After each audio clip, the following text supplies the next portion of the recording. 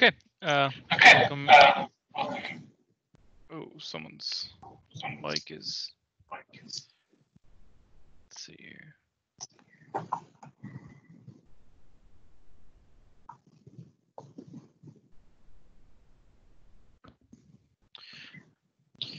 Okay, so hopefully you guys can hear me. Um, if you guys have your mics on, go ahead and, and mute yourself. I think most of you guys are muted. All right, and then if you guys could put in the chat window, if you guys can see my screen. We'll get started here.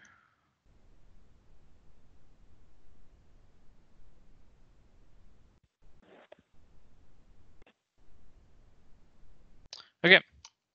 Um, so hopefully everyone was able to get into this meeting as it's a Teams meeting now. Um, we're switching over to that, so we figured we'd give that a shot and see how it goes. Um, the recording is in process. Looks like Kyle started the recording. Um, so today is the fourth CAD webinar. Um, the topic is on intersection details um, from model to sheet. Uh, so this was, uh, if you remember from previous months, this one was an open topic uh, session, and I sent an email out a couple weeks ago asking for topics on what you guys would like to see, and um, I only got one topic, um, which is this one. So because he's the only one that submitted, he got the whole the whole session to be about this. Um, so the when I get to the slide ahead, I'll talk about the upcoming uh, CAD webinars and the next open session. So um, when that comes around, I'll send another email out, and if you guys have things you want to see, make sure you respond to that that email so that that we know and we can we can start planning and preparing for it. If you um, you know email me or IM me, you know the day before that's not really giving me much time to prepare for it. Okay, um, so just some overview things, and then we'll get into the the actual webinar. Um, I showed this last time. Just wanted to remind everyone that our our training um, right now is is on hold. Um, so the the next one we have is in August. So we will see where we're at um, with with this. Um, hopefully that's you know we're back running by then, but right now it's it's up in there. Um, again, our wiki page, um, all the recordings will go there. Um, after within a couple days, we'll get the recording up there. Um, so, and as always, there's plenty of good content on our wiki page. Uh, monthly webinars, you can see the ones we did, the one we're on, and then you can see the next kind of tentative schedule um, so about every four months, we, we kind of do an open topics one, but you know we can shift things around. This is a tentative schedule. But, so the next one will be on on May 27th, and it'll be going over advanced corridor editing stuff. Um, and just another reminder that our bi-monthly open sessions are also on hold. Um, that's ones where we have in the computer lab um, every other month where you can come in and and we're down there. We can work through problems. Um, so that is as well on hold for now. Um, our internal CAD managers meeting. Um, so this is more on the manager side. Um, we did have one last week, and the next one is is in July. So um, just thought I'd kind of make that aware. These meetings are are you know not like everyone doesn't need to come to this. It's not like a CAD users. It's more of a managers um, to go over things. Um, not so much using the product, but changes and, and whatnot. Um, so hopefully after the meeting, they are relaying things we talk to you guys as well. Um, and then our, our CAD user group meeting, or ex- that's open to everyone, including externals. Um, you know, we normally have them in the auditorium and we stream it online. Um, the next one, you know, isn't too far off. Um, I don't. I I think for right now is isn't really going to be canceled. We're looking at moving it online and seeing if we have that capability, or because I I know there'd be a, a pretty huge number of people listening online. So making sure that we can actually handle that. Um, so that's what the next one is. We're looking at doing online. Most likely won't be in the auditorium or in person at least. And that's all my spiel that I had. Um, I'm going to turn it over to Matt Ivan, who's actually going to be um, doing this this uh, CAD webinar. Uh, so Matt, can you share your screen? Yep. Let me know when you can uh, see it.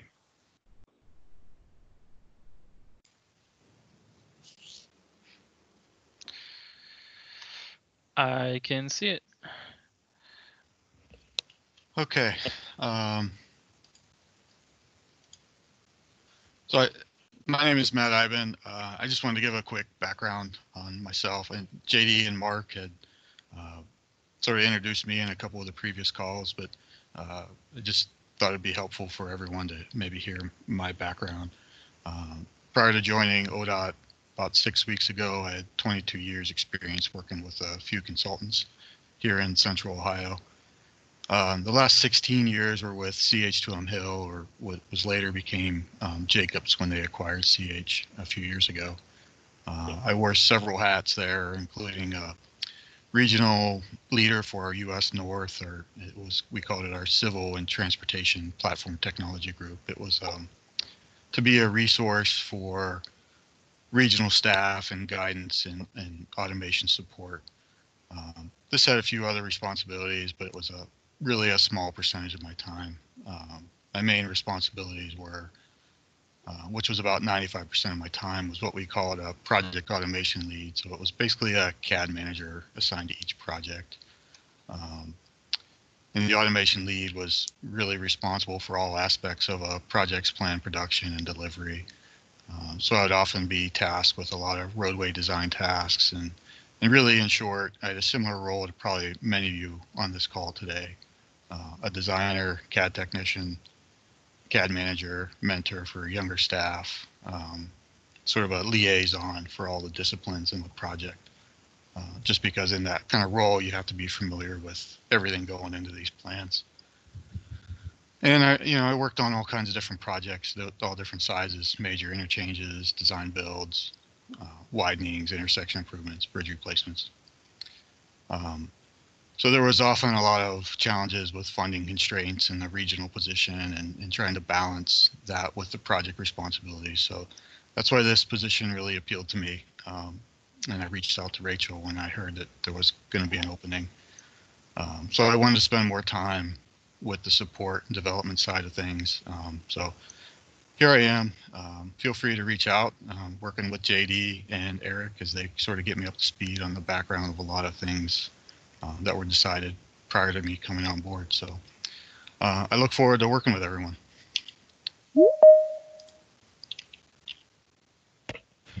So as JD sort of mentioned, we're going to talk about um, modeling an intersection and creating the detail sheet with ORD. So we'll start uh, with an overview of how to model the intersection. Uh, in this case, it's a widening. And then we'll go over an overview to create and annotate our intersection detail sheet. So what we'll need to start is we need at least a existing ground terrain model and uh, excuse me, um, we'll need some uh, baseline or centerline geometry. I put a little asterisk there at the end. Uh, we could get away without it in this scenario, um, but it's definitely helpful to have. So then we'll go over uh, an overview of creating the sheet and annotating it. And we're going to use the ODOT Create Design Files app. We're going to place some name boundaries with ORD. Uh, and then we'll use the Ohio DOT Intersection Details app to annotate um, some of the edge of pavement lines. So as JD mentioned, this this topic came from Scott in District 11. Um, so when he reaches out, please be uh, sure to submit any ideas that you have, um, and we'll, we'll see what we can do to get them uh, presentations like this.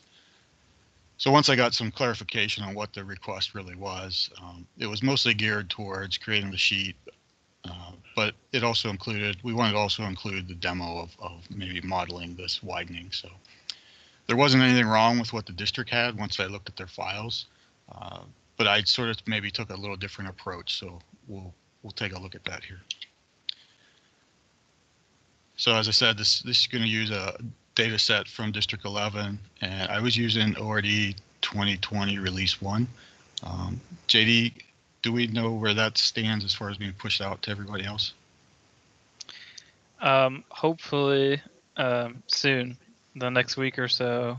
Um, hopefully, we're pushing this update out to all machines. Okay. Thanks. So there, I don't think there's any differences between the the last release and the 2020 release one and what I'm showing, but um, I just wanted to point out that that's what I was using. I also referenced a draft or an unpublished published version of um, the plan and profile sheets uh, training guide, which is like section 800. And there's also the 508 intersection detail exercise and video on the wiki page that will be a good reference if you want to come back to something like this. Um, and uh, I believe Bentley also has a good video or exercise on some of their learning content too, if you, if you wanted some, something a little different.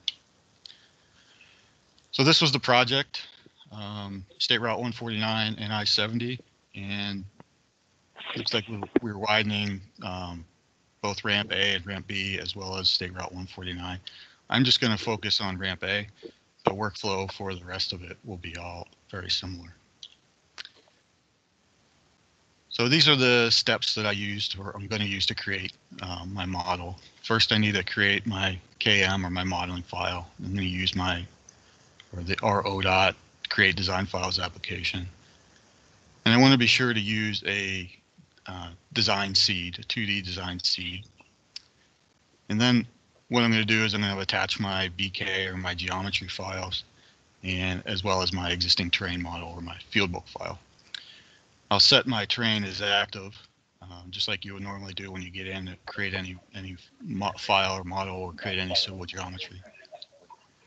So then I'll create my geometry for my cut line and my edge of pavement. And what I just wanted to do on this slide was list the commands that were used so that if you were referring back to this later, you could uh, easily find the commands I used in this presentation. So single offset partial, uh, variable, variable offset taper, and arc between elements. I'm getting a lot of feedback. If someone mind muting their mic. So then we move on and we'll use the um, geometry commands, uh, profile by slope from element and a quick profile transition. And then on this slide, what I was trying to show was, um, well, we need to create a, a, proposed terrain model. For, so we'll create a surface for that. And then in parentheses, what I showed was um, where you can find these commands within the ORD ribbon. Um, so once we create a, a terrain model, we'll apply a surface template to that. And then obviously before we do that, we'll need to create a surface template and similarly with um, a linear template, we're going to use we'll create a linear template and then we'll apply that linear template to create our shoulder and add our end conditions for our grading. So um, as my first presentation to this group, I wasn't about to attempt a live demo, so I recorded this. Um, and there is audio to go with it, so if you can't hear anything, um, feel free to shout to get started with my, my intersection model here, but what I want to do is go to the ODOT uh, workflow and use the create design files tool. And I'm going to filter the list um, by the KM files, and I'm going to toggle that on. And for this example, I'm just going to use a file number of 901. And I also like to just toggle on, if I'm only creating one file, open the last file. So click Create Files.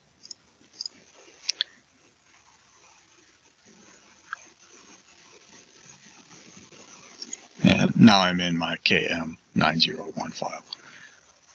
Next thing we need to do is we'll go back to the open roads modeling workflow and we use the attach reference to attach my fieldbook file as well as the geometry collector file, the BK000, which has BK1, 2, 3, and 4 attached to it.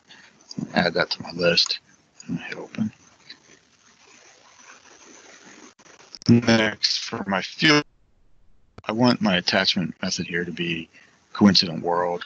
But one thing I want to change at this point is I don't want this to be like nested. I don't really need anything there. So I'll toggle that off. And then for my BK000 file, I do want live nesting and I will toggle that on and set my nest depth to one. Now if I fit my view, see my project area and we'll zoom in. Next, I'm just going to use the search ribbon to find my level display um, dialog box. And I'm going to just turn off some stuff to make it easier for, for us to work on this model. So the only thing I really need at this point is um, the existing pavement levels. I don't really need the joints or the center of the pavement. Uh, I also want to turn on the boundary for my terrain model from the fieldbook file. So I need to turn on the existing ground and the uh, the tin hull uh, level. In my BK file, I can toggle off some of these if I need to. Um, I don't really have to, but I'm going to go ahead and toggle off the uh, everything except the 100 foot levels. And I'm going to go ahead at this point and just do a, a save settings, just in case I, um, you know, I lose the file for some reason. I can come back and it should be in the same view, the same levels turned on and off. Next thing I'm going to do is I'm going to go ahead and activate my terrain. And so I'm going to select, using the element select command, I'm going to select the terrain. And when the toolbar pops up, the floating toolbar, I'm going to go ahead and select the active activate terrain. So that'll go ahead and create the 3D model in the background for me. And at this point, I don't need to do anything further with it, but we'll come back to that here in a few minutes. Next, what I'm going to do is go ahead and create a saw cut line along ramp A and a cut line along State Route 149. Before I do that, I want to point out that I want, I'm going to use the feature definition toggle toolbar. Uh, if you don't have that on your screen, you can find it from the um, from the standards pull down, and it's under just feature definition toolbar. So what that will do is set the active feature definition for all the proposed geometry I'm going to draw.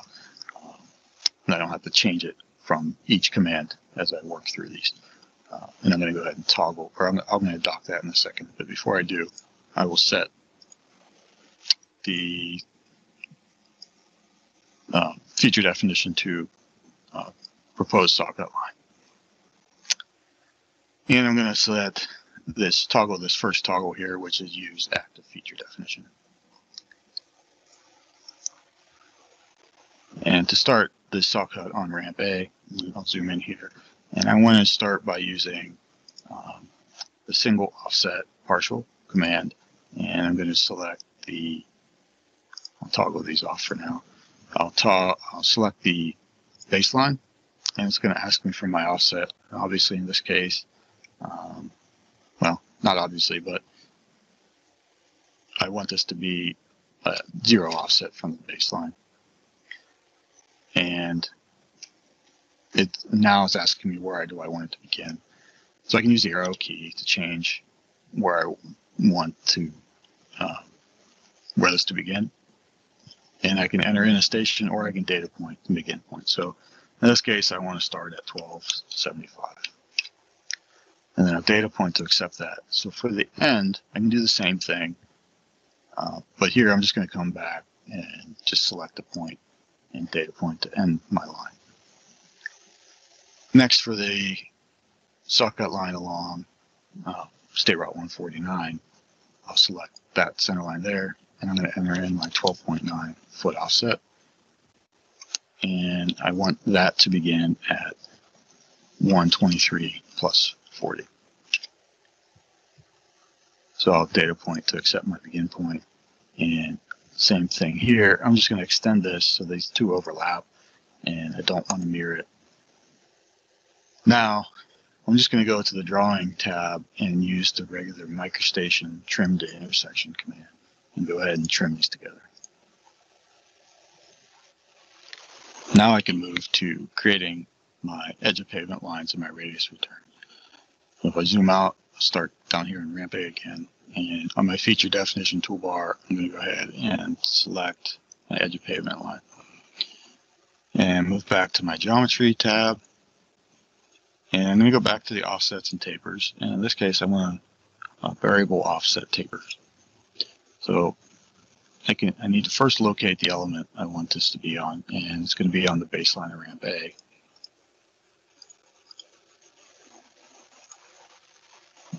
And I need to define where my start point is going to be. So my start offset is going to be zero. And then I need to tell it what station to begin it at. And here, I could have gone ahead and snapped to the beginning of the saw cut line, which is where I want to start, but I, now I can also enter in, again, use the arrow key to move to the um, distance field or the station field and enter in 12 plus 75. So that's going to be a data point to accept, and that's going to give me my begin point. Now I want to enter in um, the endpoint, which is going to be an eight foot offset. And it's going to be at station uh, 13 plus 25. So a data point to accept the end of that, and I do not want to mirror it. Now I'm going to create an edge of pavement line that's uh, eight feet offset from my baseline. So go back to offsets and tapers, I'm going to go and use the offset, uh, the single offset partial command again. And I'll select my baseline. Let me clear these. So to start this, I'm going to snap to the end of my taper that I just created. And then to end, I want it to be at uh, 14 plus 85. And then I'll data point to accept that. Now I'm going to create the radius return, which has two tapers in it. So under my arcs command, I'll go to arc between elements, and I'm going to use taper, arc, taper. In a situation like this, I would probably recommend going ahead and entering in the information in the dialog box versus the heads up prompt, just because it can be a little less confusing. Um, so now it's asking me to locate my first element. And so that's going to be my edge of pavement line that I created. My second element is going to be the saw cut line of 149. So you see it's showing me what's going to be created and heads up prompts are giving me all the same information that I've already entered here. So I want an 80 foot radius and I'll accept that. Um, and then I want us to trim only the back element in this case. I suppose you could also trim the saw cut line in this case. Um, but for now, I'm just want to set it to back and I'm only going to have it trim off that little bit of excess there.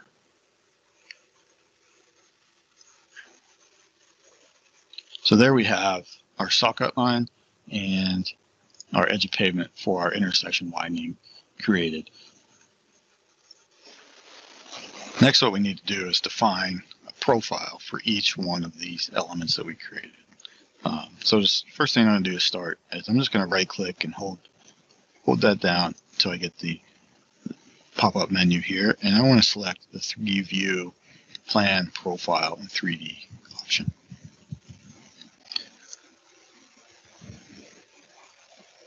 I'm going to cancel this dialog for the moment. So here I have my plan view, my 3D view, and I'm going to use the view at the bottom for my profile here in a second. Uh, in my 3D view, uh, a lot of times by default, a lot of your levels will be on. It might be confusing and, and jumbled. So in this case, everything's been turned off uh, except the triangles.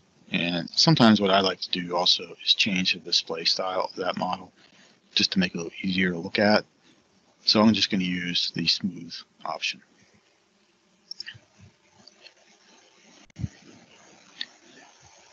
So now what I'm going to do is I'm going to go ahead and open a profile model and I'm going to start with the saw cut line of ramp A.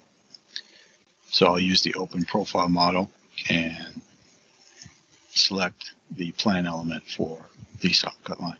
And then I need to data point to select the view that I want to use. So now I have the existing ground profile along this saw cut line. Obviously, we don't need to create a proposed profile here. We're going to use this and we'll set the uh, existing ground as our active profile. And when we do that, we'll see that that cut line then appears in our 3D model. And we'll do the same for the cut line along 149.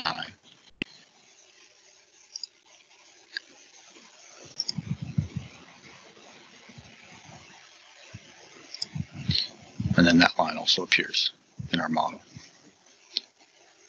Next, we'll need to select or create profiles for the uh, edge of pavement line.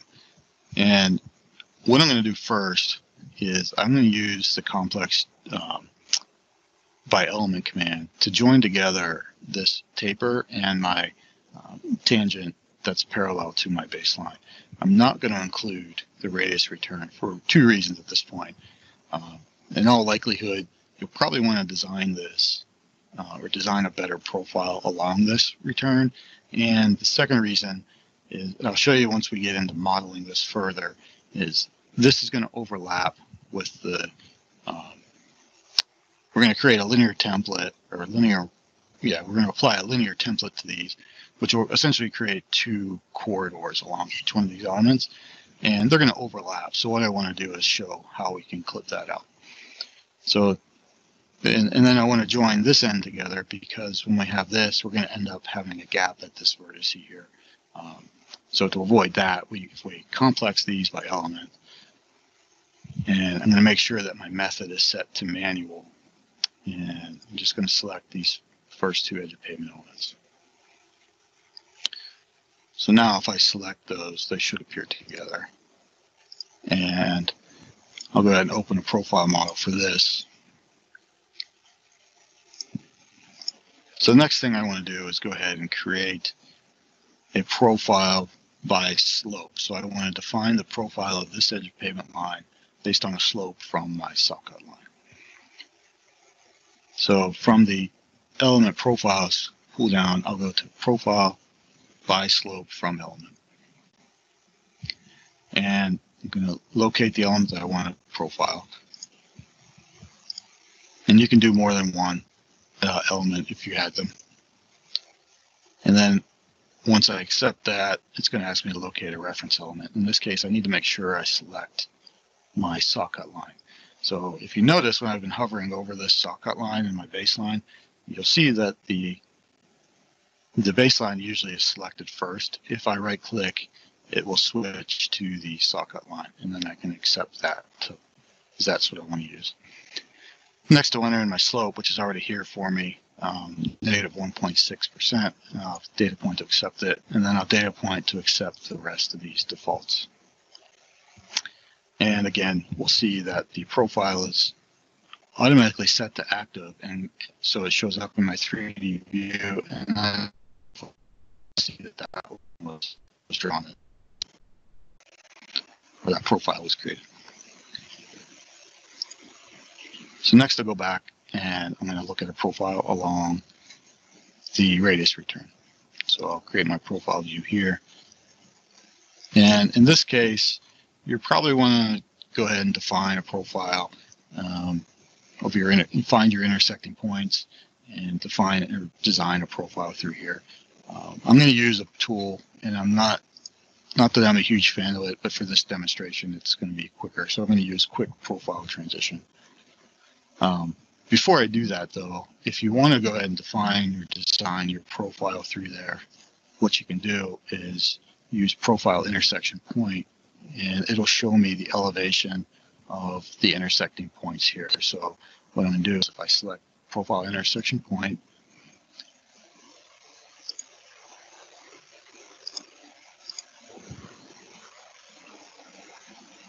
so I'm going to select my radius return. And then I want to, it's asking me to locate what element which it intersects. So I'll select this first edge of pavement line and I'll select my saw cut line over here. So you'll see in our profile view a point was placed in. This is the elevation of the um, edge of pavement at this point. And then I also have a point that matches existing at my saw cut line there. So now I'll go back and I'm just going to do a quick profile transition. And I want it to be parabolic and I want us to define it along this radius return. There we go. So now we have our profile along our radius return and you'll see then that that profile automatically became active in my 3D view. Next, what I need to do is I want to create a terrain, a proposed terrain with this shape that we've just generated here. So what I'll do is, um, let's see, let's go ahead and just turn off our reference files just to make this a little bit easier. And when I go to the terrain tab, I want to create a terrain from the create group and I want to create it from elements. And in my uh, dialog box here, it's asking me for the feature definition. Um, for the moment, it doesn't look like it's taking what I had set. I'll just toggle that off for now. And I'm going to set my terrain by using proposed boundary. And I can give this a name as ramp A. And I'm going to set this by boundary with a max triangle length of five feet. We can change that we don't have to use it. So I'll locate these elements to add, reset when I'm done, and then accept through the prompts or data point to accept these prompts.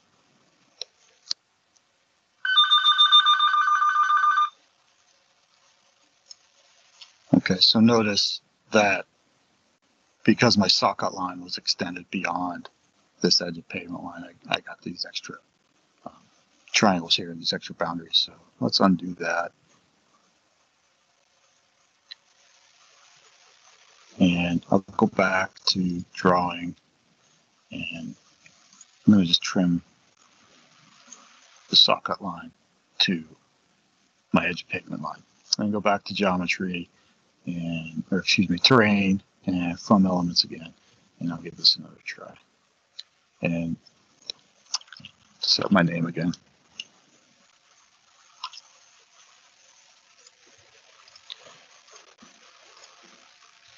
So select them and I'll reset when I'm done. And then again, I'll accept a data point through these. So there we go. So we see the blue boundary is our terrain. And we can use element select and select this terrain. Me see, maybe be. There we go. And in my properties, I can turn on and display my contours so I can see what's going on here. I could also turn on break lines or boundaries or, um, or triangles as well if I wanted to see those. So there we have a terrain model or surface terrain model of this intersection area.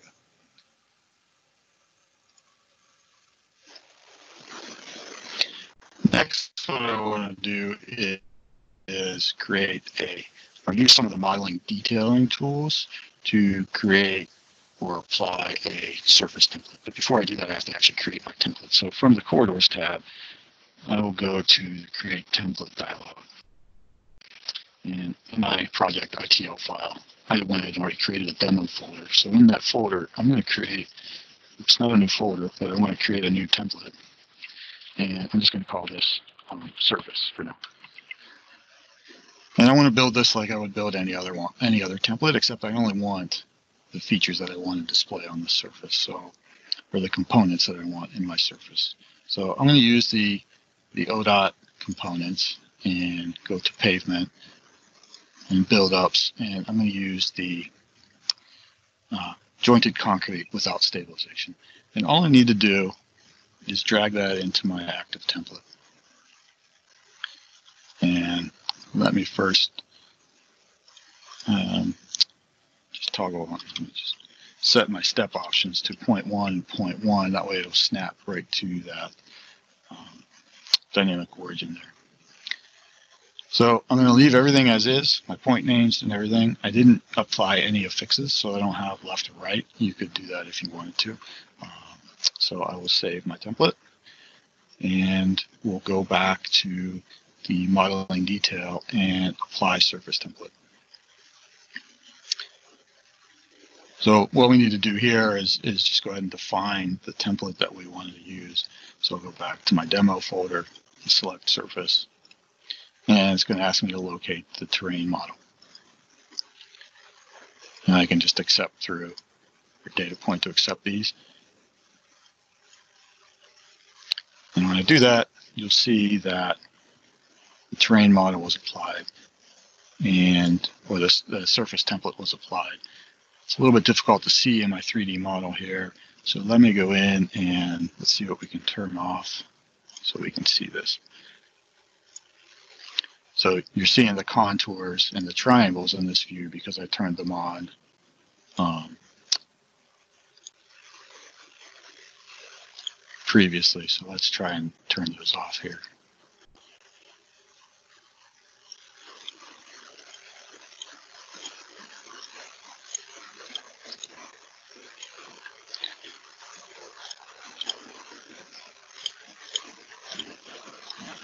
Okay, so now we see our uh, concrete pavement. And if we zoom in to a point here, or maybe even rotate the view around, we will see that the bottom layer is also in there.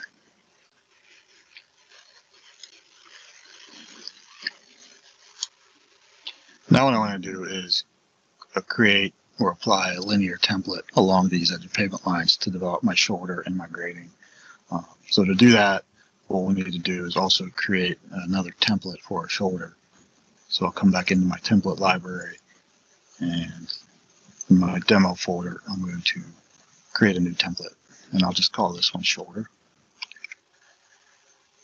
And again, I'm going to use the ODOT uh, components that are already developed for this. So I'll go to the shoulders and the concrete jointed pavement.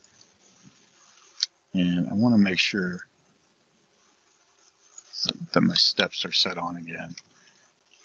I'm not too concerned with my affixes again. You again, you could apply uh, right or left uh, to your point names if you wanted to.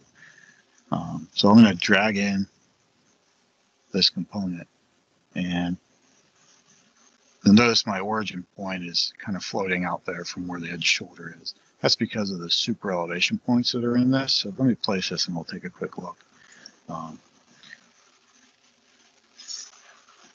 this point here in my shoulder has some super elevation rollover values assigned to it. And it's all based on this hinge point.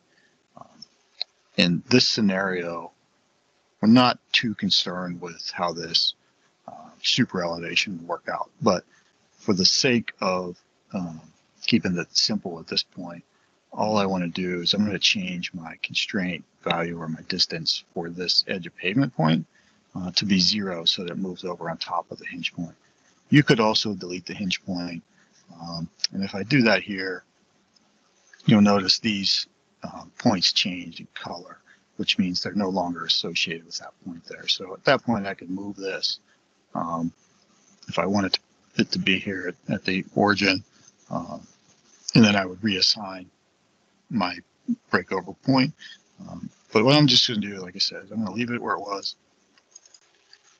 And I'm going to change the constraint um, distance of, for that horizontal distance to zero. So now that my edge of pavement point is right on top of that hinge point. And, and I'm not too worried about this point here. We can delete these if we didn't really want them, um, or I'm just going to leave them in place. Now my edge shoulder, in this case, is six feet. So um, I'll change that here as well. And we could also add some labels here and control this with parametric constraints, just like we would in a normal corridor. Um, but I don't need to at this point. And so I'll close that. Next, I want to add in some sort of grading or some end conditions. So I'll go to the ODOT end condition folder and I'm just going to go use a two to one fill slope. I think everything here is in fill. And uh, I'll change my graded shoulder offset to, I think five feet is correct for, for this case. So there I have my shoulder template with an end condition and you could apply as many end conditions as you want and you could come in and you could test those just like you would with any other uh, template. So let me save my template library and go back to my modeling detail tab. And now I want to apply a linear template. And I could turn off some of these things that makes it easier uh, for me to see, but you also notice uh, as I hover over these edge of pavement lines, those are the only ones I'm able to select anyway. So I, I can leave some of these things on. Um, so I'm going to select the first uh, line that I wanted, my first edge of pavement line. And to, if I wanted to change my template, I could, I could select the there and apply it. So I'll accept my template. Now it's asking me my start station. And I just want it to be the beginning of my edge pavement. So I can press the Alt key to lock my begin, my start station, and I'll do the same thing. I'll press Alt to lock to the end. Now as I move my cursor from one side to the other, you'll notice the uh, it's asking to select basically which side I want this to be on. So I'll select my right side and I'll accept through the remainder of the, the defaults there and I'll repeat the process for my radius return as well.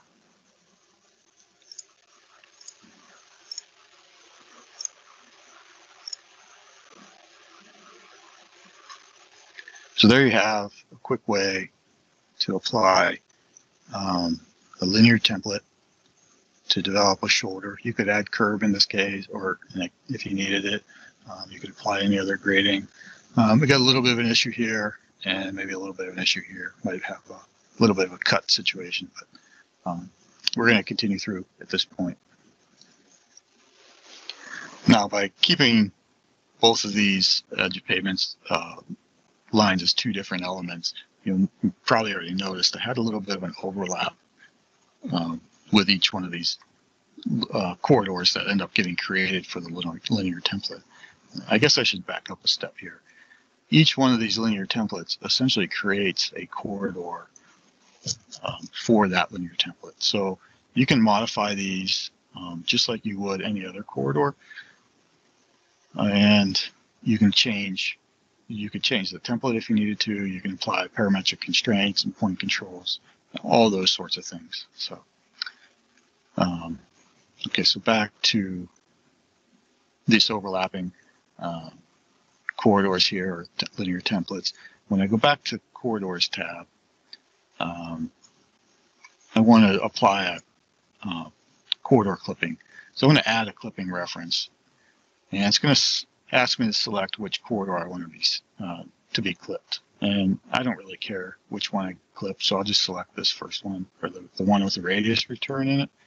And then was, it's asking me to locate the first clipping reference. So when I select this other one and accept it, or excuse me, reset, you'll see, now you still see that the template uh, boundary shows up there, but now you'll see that there's this corridor has been clipped to the limits of this corridor.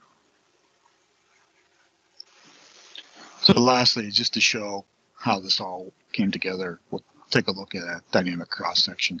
Uh, so if I right click in my plan view here and get my view control menu to pop up, um, and this selects four views, plan, profile, cross section, and 3D. Uh, it's going to prompt me for a dynamic view for a profile, and I'll just select the saw cut line. Probably didn't need to show the profile in this case, but uh, now Now I'm ready. I can go ahead. Oh, okay, select uh, dynamic section. So I'm going to select. I'm going to use the saw cut line as my corridor that I'm, my alignment that I want to use. And now what I can do is um, I can either enter in the offset that I wish, uh, or I can just data point. I'll just pick two points. Now it's going to ask me to um, enter a station to start, and or I can just pick one on the screen. So I'll just data point close to the beginning, and I want my sections, let's say every 10 feet, and then I will select the view I want. So my bottom right here. So as you can see, we can begin to see our cross section or our pavement. So we have our widened area, our shoulder, and we're in that section there. The, the grading didn't work out. And now I have my graded shoulder and my two to one fill slope. Um, in my 3D view, I'm, I'm, I'm not seeing my existing ground in my sections. That's because it's turned off in my 3D view. So um, if I go back to my level display, it's turned off the reference. So let me turn that reference file back on. And there I have my existing ground again. So I can scroll through and I can look at my design, look at my model and see what kind of errors come up. Or to see how good it looks one way or the other.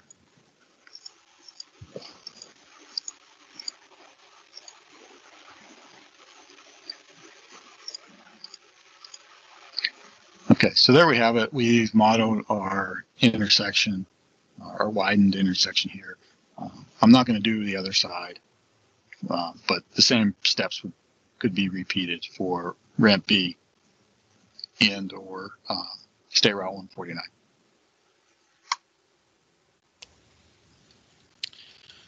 Okay, so um, there was a little bit of editing that was done there, uh, but really, I'd say in a matter of a, an hour or two, you could repeat this process as long as you're sort of familiar with um, the geometry commands and the uh, and creating some templates. Um, so the the next slide I'm showing here is when I created or um, when I joined those taper line and my edge of pavement line together. If I didn't do that, I, I would have, when I created a, uh, or applied a linear template to these, uh, I would have ended up having a little bit of a gap there. Uh, we could have came back and edited that later or joined them together. So I was sort of thinking ahead, knowing that that might be an issue, but that's what that would have looked like. So now that we have our model created, uh, we can go ahead and, and create our intersection detail sheet. And these are going to be the steps that I'm going to use again in my demo. I want to create a, uh, a file to do this in. And as of the time of uh, preparing for this presentation, we're sort of discussing file naming and workflow for creating the name boundaries and collector files. Uh, what I'm showing here is what we had currently decided upon. There may be some tweaks later as we uh, work through some of that and uh, create all the documentation or update the documentation. So uh, that'll be up or happening here soon. So be sure to check any current documentation when you, when you get to this point. Um, and if there's any questions, feel free to reach out. Um, so what I'm going to do is I'm going to create a GI000 file, and that's going to be the file that I'm going to use as my collector file and my uh, name boundaries. And we've decided to go with the the drawing code and the 000 um, uh, file number in this case. So that way they're somewhat it's associated with your sheet files. And you could use a GP or a GA or whatever uh, file type you're creating. I do want to make sure I'm using uh, the design seed or a design 2D seed and then I'll attach all the reference files I want to be used for uh, or to be shown on my sheet. Um, so the GI000 will be a collector or a container file for all the references. Uh, I would also recommend that live nesting not be used on any of these. So if my previous example, I used a BK000 file and let that attach all of the geometry that was already created. So I think there was four files in total. Um, I wouldn't suggest that in this case when I'm doing my sheet. Um, you start adding too many levels of live nesting, it's going to get, it can get very confusing very quickly. So then I'll adjust, um, once I do that and I attach everything, I'll adjust my uh, level display as, as it needed. Once that's done, I'll go ahead and create name boundaries from the drawing production tab. And then we'll create the GI 001 sheet uh, from the name boundary. And then at the end, we'll add our annotation. And uh, I, think if I understood the request correctly, they wanted to see how to clip out the existing topo um, on their intersection depot so that you could see where we were tying into existing, but not show it where the proposed pavement was. And then we'll use the Ohio DOT intersection details app to annotate the radius returns and the edge of pavement lines for the elevations that we'll show.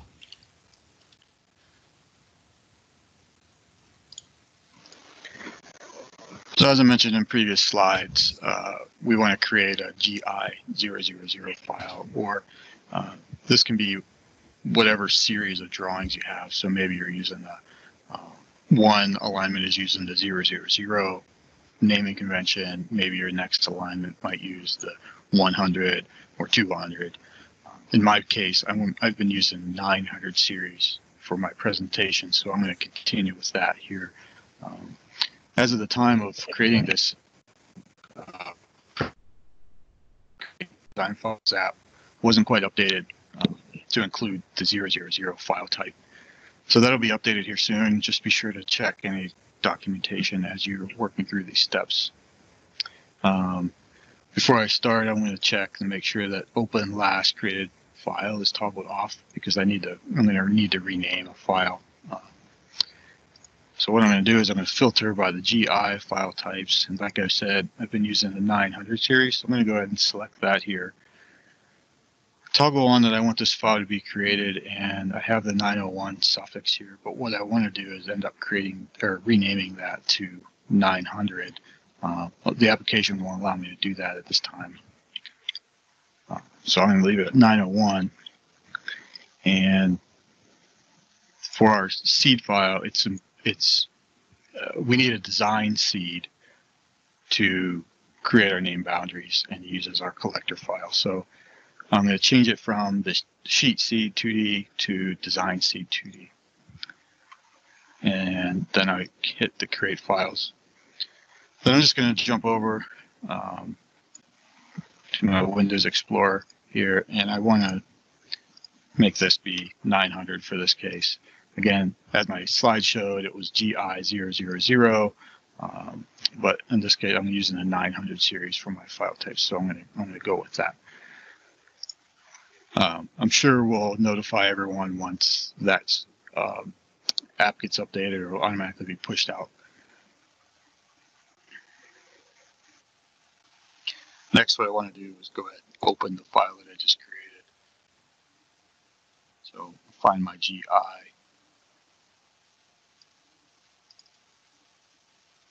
GI 900 drawing in my Sheets folder. And again, keep in mind this was created with a design seed.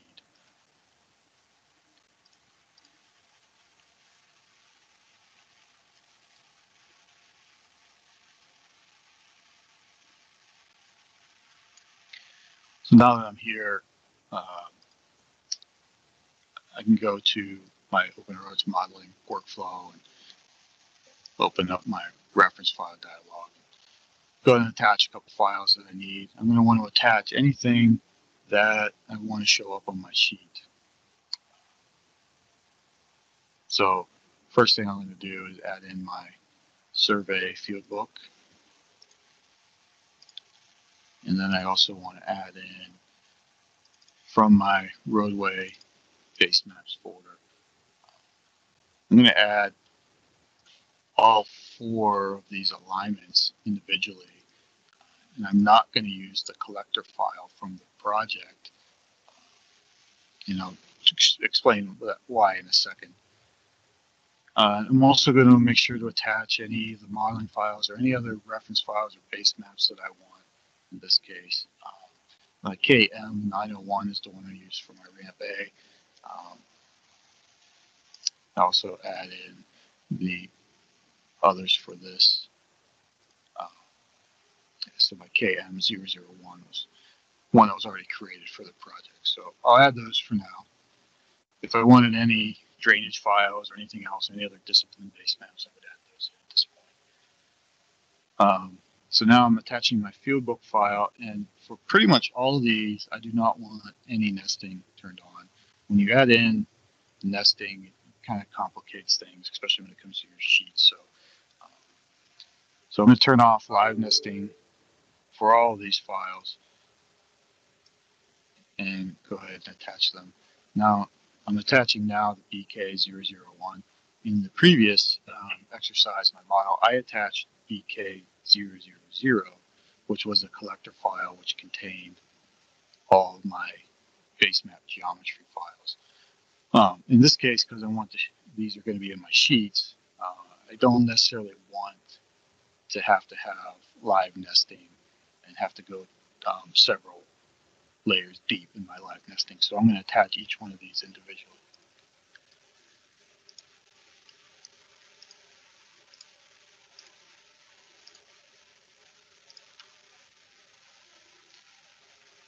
Next, I can fit my view and zoom into my project area. And similar to the previous video, the previous exercise, uh, go ahead and go to my level display and I'm going to turn off everything I don't really need. And so in this case, I'll, I'll just turn on my pavement levels. For my geometry file, to select all four of those. And again, I'm only going to leave on the 100 foot uh, stationing. And in my model files, I'm going to turn off everything other than my proposed pavement. Keep things kind of clean here. And then I'll do a save settings to make sure I don't lose anything. So now this view will be the view that will be attached to all of our sheets that we would create in this series. Um, so let's say we had three or four sheets, or 10 or 20.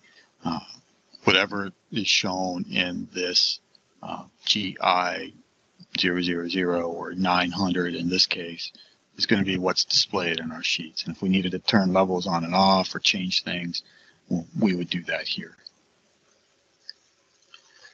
Now we're ready to create our name boundary. So we'll go to, from the open roads modeling, we can go to our drawing production tab and then to the name boundary tool. So we'll do place name boundary. And we're going to use the plan, the civil plan option on, on the top toolbar here. And I do want to, if there's time or maybe in the future, I'd like to cover some of these other options that could be useful in a case where we're looking at an intersection detail such as this. Um, but for now, we're going to focus in on the create civil plan. Um, so we'll, we want for our drawing seed, we just want to do a plan only. And we want to set our detail scale and that'll be typically 20 scale for an intersection detail. Next thing I'm going to do is identify the path I want to follow. And by doing that, I'll, I'll just go ahead and select the ramp A baseline. And then it's going to ask me to begin or, or enter a start location. Um, I want to enter 12 plus 0, 0. And then for my stop location, I'm going to click the the uh, arrow icon to the left or to the right. That'll set it to the end of the path there. So that sets my uh, stop location at 16 plus 10. You could manually type those in, or you could data point uh, point on the on the screen to accept that point. Um, so now I'll go ahead and data point to accept and it's showing me my name boundary in white here. The length and offset uh, are set per the drawing seed, so you don't really need to change anything there. We do want to um, make sure that we have create drawing and show dialog next. So that, that'll give us the next step once we accept this. So um, you'll see that the boundary is sort of whitish in color here. Once I go ahead and data point to accept that, it's drawn into my file and it's kind of a grayish shade. And then I get the create drawing dialog.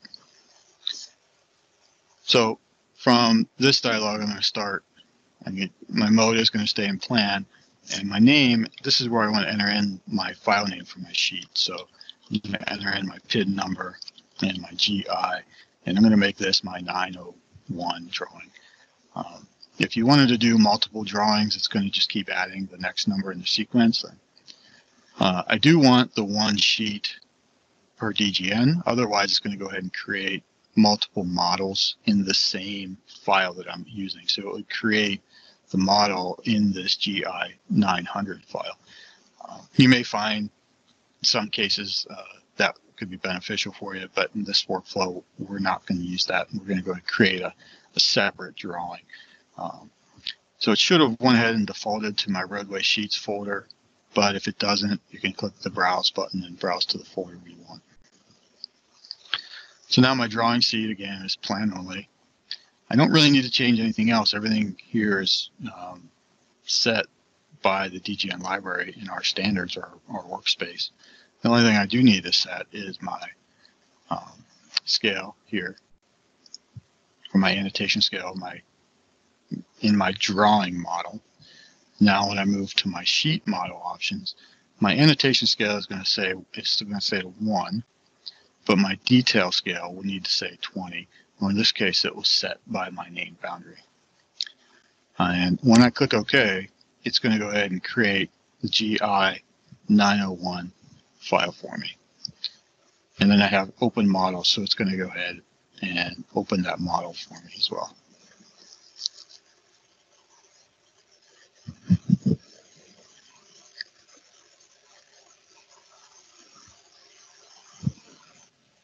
So now let's take a look at the file that was just created.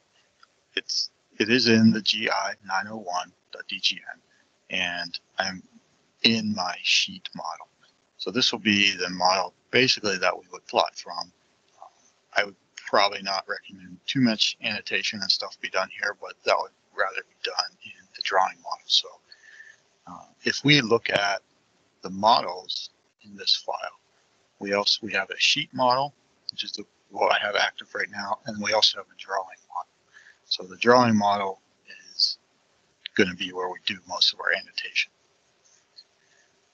Um, and if I look at the reference files for the sheet, you'll notice that the drawing model for GI 901 is attached. So the drawing model of my active file is what is attached. And then if I look at my drawing model, you will see that the drawing model, uh, when you look at the, the reference files, you'll see that it is referencing the GI 901 and it's referencing the design model, which there was only one model there, but that's the one that's referencing GI 900.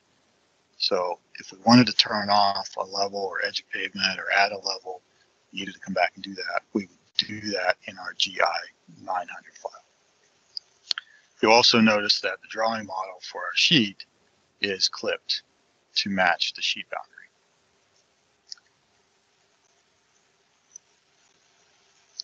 So then one of the other uh, points we wanted to make during this presentation was during the, the initial request for this topic uh, was to show how to clip out the existing pavement in this example. So we don't want to show the existing pavement here. So what I'm going to do is go back into open my collector file, my GI 900, and just zoom in here. And if I just use a um, scratch level, for this example, I'll just set it to something that can be seen easier.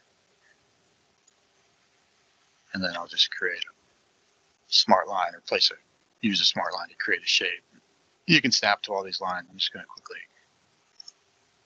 place a shape in here. And then I'll close that there. Let me just go ahead and modify the end, this end here. Now in my reference files for my fieldbook file, what I can do is uh, place a fence around this element or using that element and I could do a mask reference in my fieldbook file so that'll mask that out. I suppose you didn't really need to do the shape. Um, you could have just placed your fence and clipped to that fence.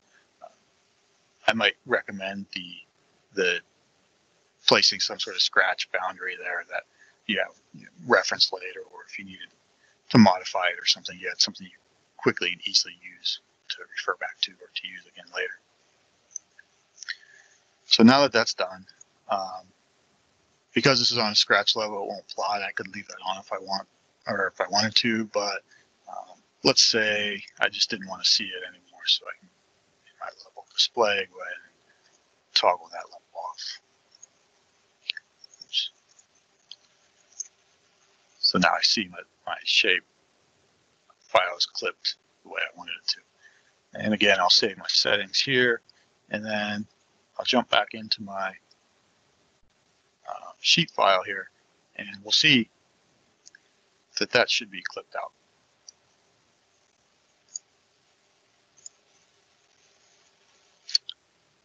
Oh, because uh, because that shape was drawn in the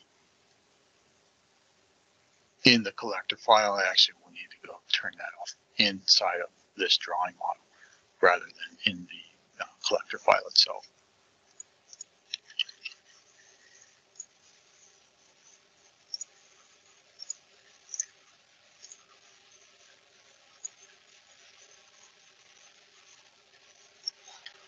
Now I'm ready to go ahead and start some annotation or some labeling, uh, specifically labeling the elevations along the edge pavement lines here or along my saw cut line. So I'm going to show two examples. Well, first will be sort of a manual method, and then the second will be using the uh, Ohio DOT um, intersection details application.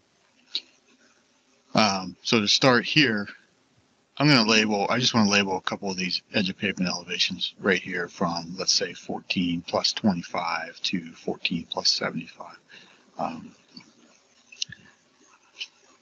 what I need to do is find the elevation along my edge of pavement, and I can do that by going back to my drawing model, or excuse me, my my design model or my 3D model file, my KM file.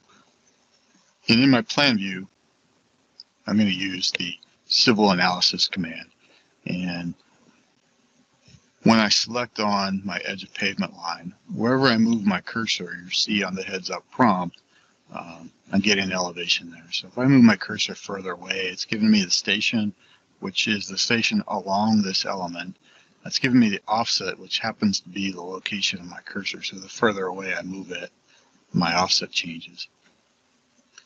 And my it's also giving me the elevation of that edge of pavement line. Um, that has no effect on where my cursor is or where my cursor is in relation to the edge of pavement line. It's it's always giving me the elevation along that edge of pavement.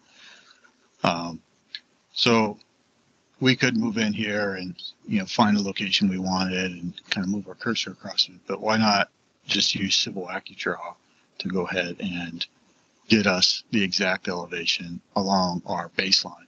So what we'll do there is let's let's toggle on our Civil AccuDraw and I'm going to make sure I'm on my station and offset toggle and then I'll restart the civil analysis tool.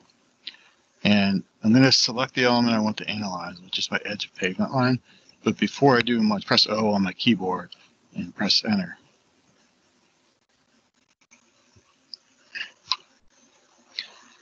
And now it's going to ask me to select a reference line. And I want to go ahead and select the baseline of my ramp. Now, if I key in, in my station field here, um, 14 plus 25, and then I move my cursor out of the field, it is locking me in at the elevation of 14 plus 25. And notice no matter where I move my cursor, uh, the elevation stays the same. So no left or right, the elevation stays the same, 1194.75. So what I could do here is go ahead and make a note of my elevation at this station. And then I could do the same thing and I can move ahead to 14 plus 50 and move my cursor and it snaps me to that location. Make another note of the elevation there and then do the same thing for 1475. So now if I go back to my drawing model for my sheet, I can follow a similar process for the annotate, annotating these three points. And uh, I'm just going to use the place note command. And I do want to make a couple changes to the dimension style that I'm going to use. So in this case, I'm going to use the label leader line. And just as an example, if I place in an elevation and I just data point anywhere, one change I want to make is I want my text rotation to be in line. So if I reset and begin that again, um, so now my text is in line with my leader, but what if I want it on top of the leader line? So I'll go in and I'm going to go to my dimension style and notice that the text rotation has changed here to inline. We already changed that. But if I toggle on these bars at the bottom for my justification, it will go ahead and make the leader line go beneath the text. One other toggle you may have to do is go ahead and toggle on inline leader and you may need to play with the the length here, this value. Um, I guess I'll just set it to one for this example. So if I reset and start that, notice my elevation label is now in line with my text and my near line is below the text. So um, let's go ahead and place my elevation at 14 plus 25. And I'm going to use Civil AccuDraw to get me so that I'm snapping right to that location. So I toggle it on and I'm on my station and offset command. And I want to press O again. And then I select the baseline of the ramp. And then I'm going to toggle 14 plus 25. And at this point, I do need to give an offset so I know exactly, so it knows exactly what offset uh, I need to place it at. So I'm at 8 plus 0, 0. And in my text editor, I will go ahead. Oops. I guess I need to enter the, the text in first. Then I can data point. So my leader is beginning at my edge of pavement line, my eight foot offset at 14 plus 25. Now you could create some construction lines to place these all nice and neat. Um, I'm just going to data point to accept this one. Now I'm going to do the same thing for the remainder of these. So 1194.18 was at 11, was at 1450, eight feet to the right, data point, place my next label, and then I'll do my last one here, which was 1193.78.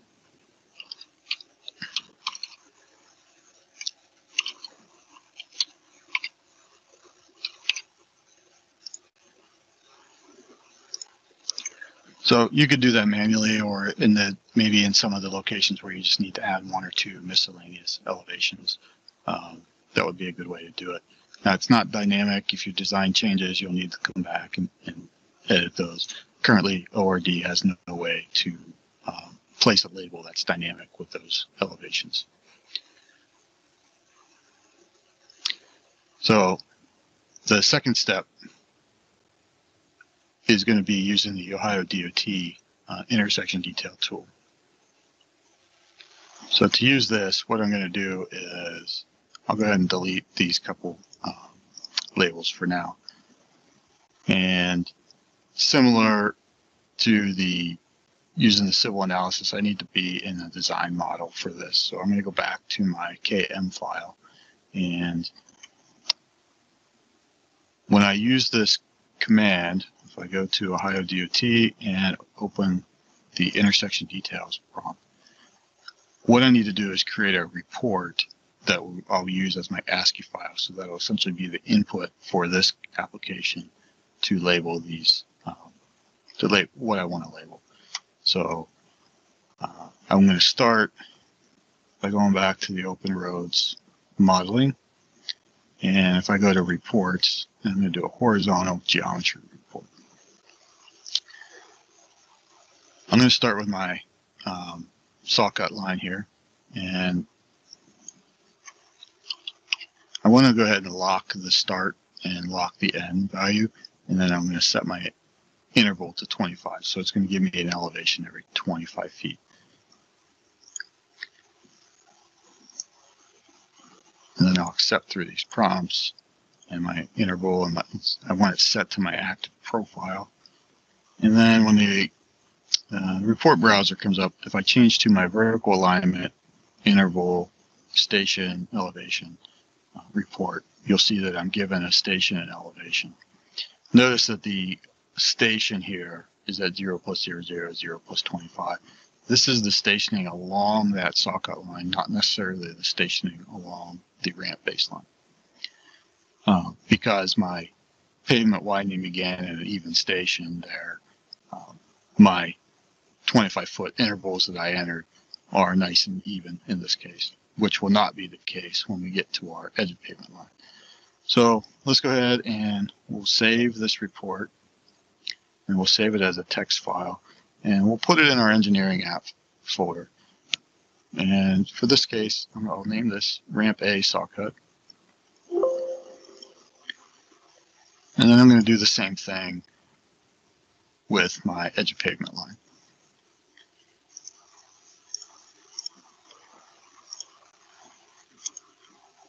And then I'll browse to that report. I didn't get any elevations there. Okay, so I didn't get the correct elevations here. Everything gets zeroed out. There was a slight error in when I did some of the modeling. Um, so let me go back and let's fix that real fast. When I modeled this edge of pavement line, I extended it beyond where I needed it to be, and then I trimmed it back using the microstation trim command, and that creates what's called an interval on your on your uh, geometry there, your civil geometry. Uh, so you can see when I select that line, it extends past my taper from my radius and my, my radius return. Um, so what I need to do is remove that interval, um, or probably what I should have did is more careful when I was creating this. So if I select my geometry, my prompts come up, I go to the remove intervals.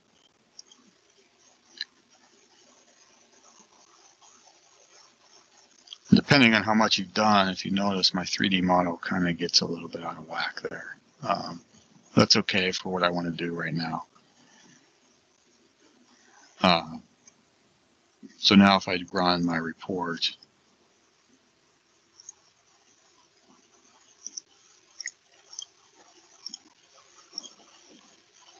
I go to my active profile, you'll see now I have the correct elevation. So I guess that's a lesson learned for me and for everyone else is that we'll need to be more careful as we, we modify that. I don't know if that's a bug in ORD.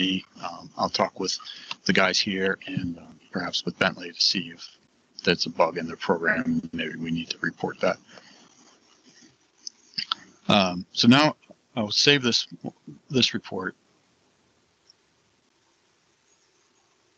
as a text file again. And I'll call this ramp A, edge of pavement. And then I want to do a second one just to show you an example um, of another way to work with this intersection details application. Rather than locking the start and end, I'm going to um, give, I'm going to define a start point on the screen. So with my heads up prompts, I could key it in if I wanted, uh, if I knew the exact station, but I'm going to snap to the end of this line or the beginning of this edge of pavement line at the end of the taper. Um, because I know that this point is at 13 plus 25 from when we created it. So if I start there and I can also, I could lock the end of this one to the end of the alignment. Or let's do this. Let's just go ahead and key it in. Um, one or two plus zero zero. And then again, 25 foot interval. So when I look at the report here, I notice that that began at station zero plus 50.64 of my um, edge pavement line there. And that'll be important when we run this back through the intersection application. So let's save this one. And I'll just call it edge of pavement two. And then lastly, I'm going to run one more and I'm going to set my lock to start back and lock to end. And then I'm going to set my interval back to 10 feet. So I'm going to do my radius return here. I'll accept that. Then accept through the prompts. And then I'm going to save my report one more time.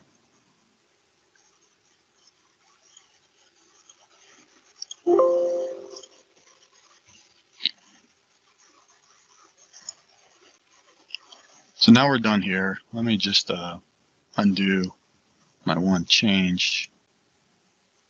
Fix my model back up with my interval. Now if I jump back to my drawing model and then I go to the ODOT workflow and to my intersection application.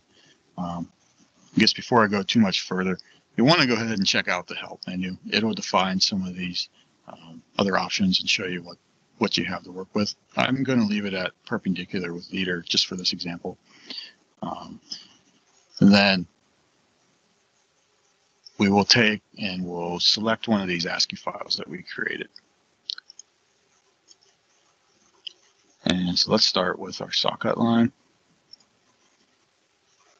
And then I'm going to select the element I want it to label. So I'm going to select my cut line. And then once it's highlighted in red like that, we can process the line. So it'll go ahead and label all those elevations from our report. Next, let's label our edge of pavement line, and we'll use the first option that we did.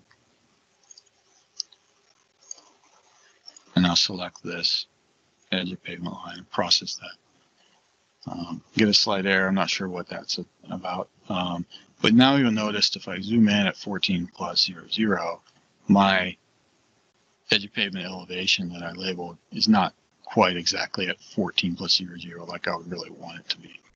Um, so let me go ahead and I'll delete this run. Let me open this back up. And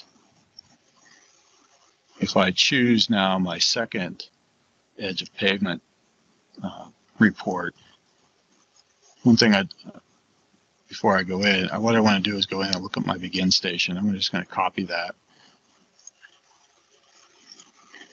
So now I have my ASCII file for my report logged in. Now my begin station, I want to be the station that begins, my report begins at.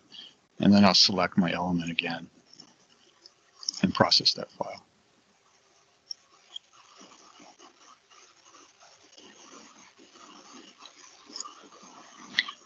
So that didn't exactly give me what I wanted, but if I just do a quick undo, uh, let's try it again. This time I'm um, I'll enter my edge of pavement two, but I'm going to leave the begin station blank. Thought thought we needed to add that in there, but uh, guess I was wrong.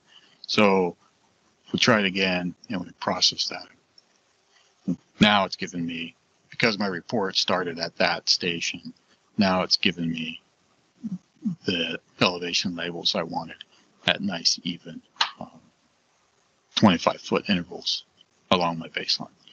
Um, so we would probably need to come in and clean up a lot of the overlapping text and whatnot. Um, lastly, we'll look at the radius return, and that was the one where we did a report every 10 feet. So it's the same process. And I'll select the radius report select my element, and process my file. So now I have elevations every 10 feet along that. So you could do the rest, could do the rest of the annotation like you normally would, um, clean up some of these. This application uh, is kind of a, a stopgap for the for the moment. We know there's some improvements that need to be made, and uh, those will be made probably in the, in the future. But at least this will get you some easy way to automate placing some of these things, and then you can manually go ahead and, update it. Again, these elevations are uh, are not dynamic with your edge of pavement lines in your model. If those were to be, if your design were to change and you need to change those, you can manually, you would have to come back in and rerun the report or just update the or edit the text that you needed to um, to make it work. So lastly, let's go back to our drawing model and we could have um, the rest of our annotation labeled in here as well. Uh, and they're, they're pretty much have uh, a created final sheet. One of the last things I wanted to show was how to maybe orient my name boundary differently for the purpose of this sheet or any other sheet in that case. Um, if I go back to my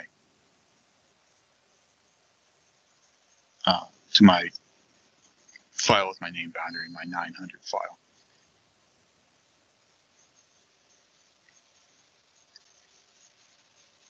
And go back to name boundaries. These last three toggles are basically microstation defaults. And what we can do is um, we can place a boundary by two points or by a polygon. And that boundary is at the moment being taken from some microstation default DGN libraries. We're going to work towards getting that so that it's reading the ODOT DGN libraries and comes up with a boundary there. But I just wanted to show an example of what we could do. Um, so let's say if I chose the by two points option and so I can turn on. Um, I could pick two points on the screen and it would place a boundary for me. Now I would need to be careful that that boundary fit within the sheet border and that kind of thing. I could also use, um, if I toggled on my um, AccuDraw, my MicroStation AccuDraw, and I could do RQ, which will allow me to rotate my uh, AccuDraw position I could rotate that better to get the, to maybe orient it through the intersection differently. Uh, or I could use the by polygon and I could go ahead and I could select the boundary that I wanted. And then whenever the sheet was created, it would actually flip that to that boundary that I created. Uh, so we're working towards that. You can look for something. We'll let you know when those sort of things get updated.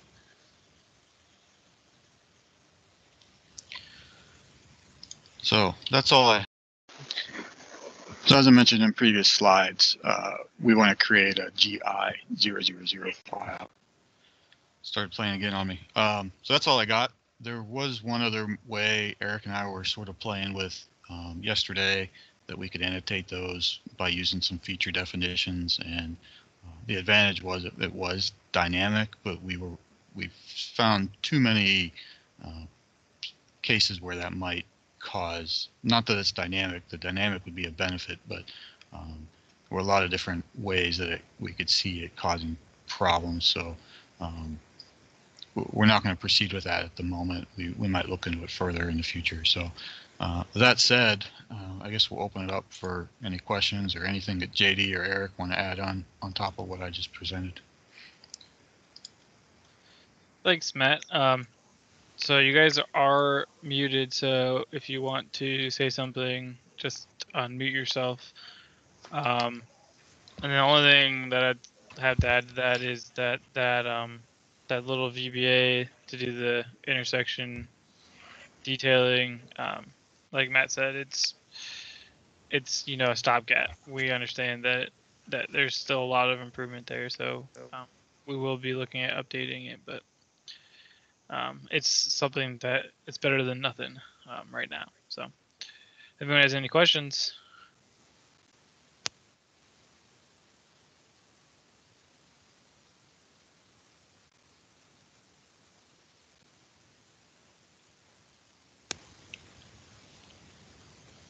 but you always wonder if crickets are good or not or if they're not able to unmute themselves. You guys can unmute yourselves, right?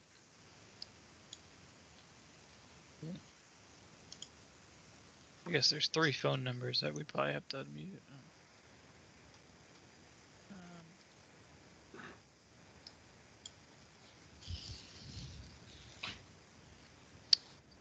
Well, you guys can use the chat.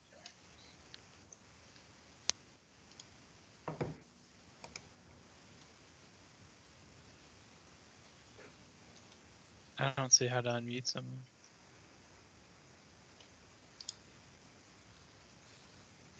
I have no problem muting them, but I don't know how to unmute them. Anyone see that? I thought maybe you could, on the participant screen, can you click the microphone? No, guess you can't. Well, there were a couple comments in the chat. Um, thanks, Scott, and thanks, Ian. Uh, Garrett, looks like um, maybe you can give that a try and see if that'll, that'll work better for you.